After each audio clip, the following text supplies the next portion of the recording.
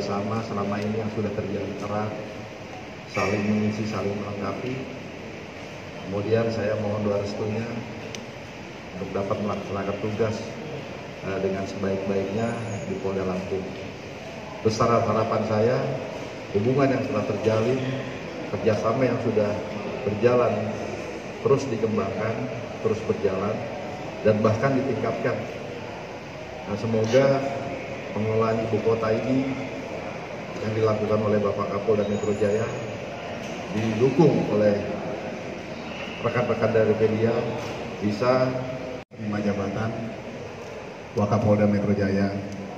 Nah, tentunya dalam hal ini merupakan amanah yang diberikan kepada saya dan ke depan saya akan membantu Bapak Kapolda Metro Jaya dalam rangka mengamankan ibu kota.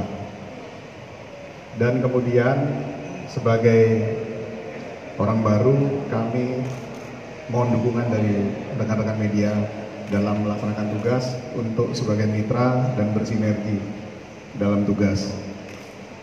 Yang berikut saya ucapkan selamat kepada senior kami.